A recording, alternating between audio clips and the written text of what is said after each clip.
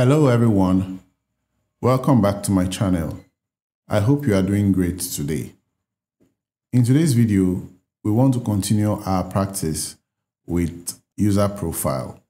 Now in our previous lesson, we briefly introduced what user profile is all about and then we did one example. So today we want to take it a step further. Specifically, we want to look at the password verify function, right? So very quickly, let's head up to our lab environment. You can see that I'm already logged in as the sys user. And as usual, I would want to execute the show con underscore name to be sure which container I'm currently logged on to, right? So you can see that I am in the pluggable database, which is where we want to do all our practice. Okay, so I just clean this. Now, um, if you are not in the pluggable database, for instance, if, you are, if you're in the root container, you could run this command, alter session set container equal to ORCL PDB or equal to whatever pluggable database you have, right? So very important, I want to execute this query. So we'll see, it says select all from DBA underscore object where object underscore name like verify and object underscore type is equal to function, right? So let me quickly execute this. I want to see all the password functions or password verify function that we have. So you can see from our output that we have different types of password verify function. Now, if you see this one, we have the ora12c underscore verify underscore function, we have the verify underscore function underscore 11g. We have the verify underscore function. We have the ora 12c underscore strong underscore verify underscore function.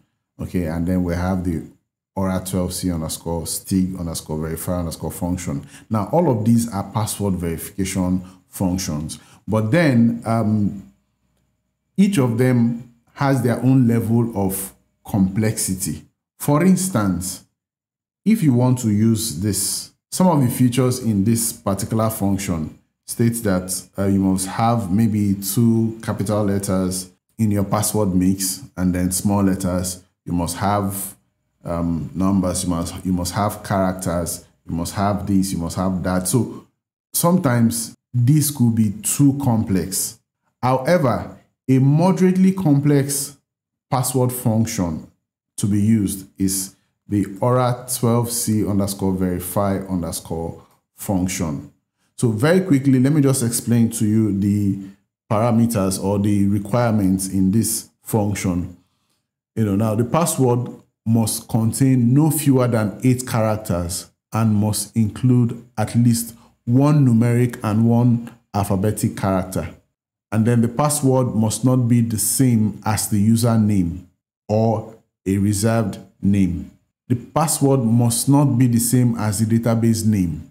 The password must not contain words such as Oracle. So you cannot create a password like Oracle 123 or Oracle 2023. You can't do that. The password must be different from your previous password by at least eight characters. The password must contain at least one special character. So if you assign this function to any profile and assign that profile to any user, the user must comply with the requirements of this password verification function, right? So that's why I actually queried this data dictionary. So we'll get to see the list of functions that we have.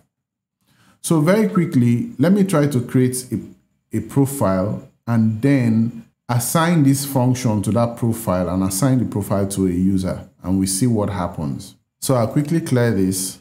Now I'm creating this profile, create profile lab underscore prof limit password underscore verify underscore function. So I'm passing the parameters of this ora 12c underscore verify underscore function to the password verification function. I hope you understand what I'm trying to do here. So let me create this profile. I quickly execute and it shows that profile lab underscore prof created successfully, right? So let's confirm, select all from DBA underscore profiles where profile is equal to lab underscore prof. Let me clean this and execute this. So you can see the profile details, right? Now, um, if you look at it, lab underscore profile password verify function, you see that this particular function has been assigned to it. And then all these ones you are seeing as default, default, default, it means it will take its value from the default profile, right? Okay, so let's go on and then see how it goes. Let me clear this. Now I want to try to create a user, okay? Create user, lab user identified by Ebony, and then we'll assign that profile. If I try to create this user, I would receive an error. And I'll tell you why the error will occur. So let me try to execute this. Now you can see that I have an error. What's the error? It says password verification for the specified password failed. Password length less than 8 bytes.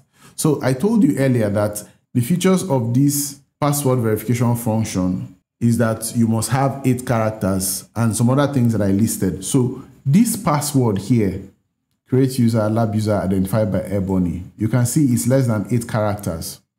It does not have numbers. It does not have any special characters. So that's why I'm receiving this error. Okay, let me try this second one again. At least this one is up to eight characters. So let me try and see. But trust me, I will receive error again. I execute this and I'm getting the same error. It said password verification for the specified password failed. Password must contain one or more special characters.